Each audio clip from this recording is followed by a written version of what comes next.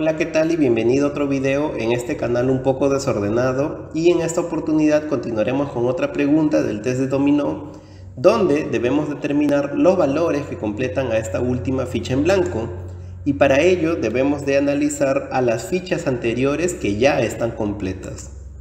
Si nosotros observamos las fichas anteriores nos daremos, nos daremos cuenta de algo bastante curioso que todos los números de la parte superior de las fichas son iguales.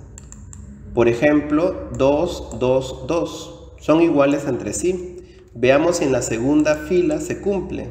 6, 6, 6 son iguales entre sí. Y en la última fila se debería cumplir 1, 1. Por lo tanto aquí también va el número 1.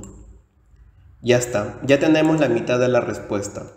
Si vemos, ojo, si vemos la parte inferior de cada ficha, veremos algo muy parecido. También se repiten entre sí. 3, 0, 4.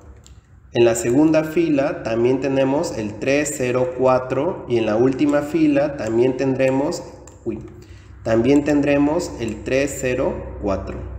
Entonces vemos que ese número 304, 304 y 304 se tendría que repetir en las tres filas que tenemos. Por lo tanto aquí abajo va el número 4. Entonces la respuesta para esta pregunta es una ficha que contiene los números 1, 4. Bien, espero que el video y la pregunta te hayan resultado útiles, además de interesantes, que sigas visitando el canal y nos veamos en una próxima oportunidad. Chau chau.